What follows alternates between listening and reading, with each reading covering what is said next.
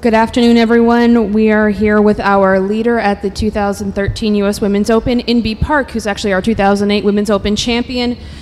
Today returned a one under par 71. Today's only under par round for an overall 10 under 206. Inbee, you had the, the stretch of the three bogeys there, the first maybe wobble we've seen from you this week, but overall you still look outstanding out there. How do you feel? Yeah, I feel I've, I, I think I played very good today, especially after three bogeys. I came back very very strong, and I mean overall play today. I I think I putted very good. I probably putted the best out of all the all the all the three days. Um, yeah, it was tough out there with the wind. Um, it was probably the strongest that we played all week, and the pin positions were just really tough out there today. So I mean, it was a very grind grinding day.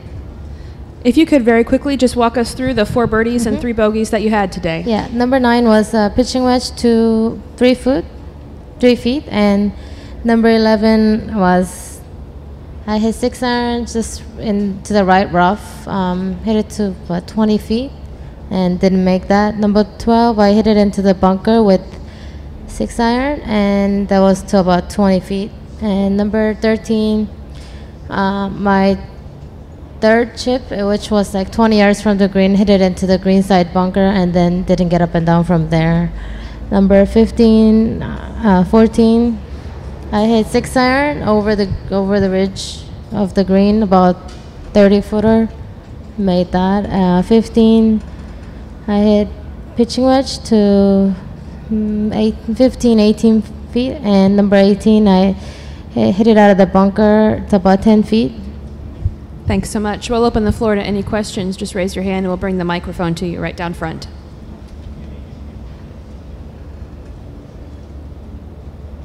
Inbee, you, you talked a little bit about fo- the uh, putt on 14, um, but again, just how big a relief was that for you after those three bogeys? What what was going through your head after that one? Yeah, I mean, yeah, I mean that was a big, big putt for me. Um, yeah, you know those three three bogeys were you know very tough, um, tough to handle handle in the kind of situations I was in, and you know it was. I thought the putt was gonna be a little bit slow and going into the wind, but it ended up being you know very quick, quicker than I thought, and it was you know a bit strong. But I think it was just very lucky. Um, I think I was just lucky there purely. yeah. We'll go to Julie. When you have a multiple shot lead in the weekend of a major, how do you keep from getting kind of complacent and just kind of ho hum out there? No, I, I think I'm just gonna think that you know IK and I am I am tied uh, starting into tomorrow's play. You know, two can be. I don't think I just gotta be you know keep pushing myself to you know you know make pars. Um, I think pars gonna be good enough tomorrow, but I'm just gonna try to do my best. Yeah, I'm, I mean a lot of thinking going on, a lot of pressure, but I mean I've you know done that before, so I think the experience is gonna help me going through it tomorrow. Next question for Inbee. I'll ask you, Inbee. You go into uh, tonight with the lead. You said, "What are your plans for the evening?" Uh, probably just probably just big dinner and uh, try to try to go to sleep. You know, I might not get too much sleep, but you know, I, I'm gonna try to sleep and you know be fresh for tomorrow. And I mean, what else can you ask for? And I'll probably have you know a good time with my uh, family and friends back home, and yeah, just trying to have fun. I'm gonna enjoy tomorrow anyway, whether I win or not. I'm just gonna try to enjoy tomorrow.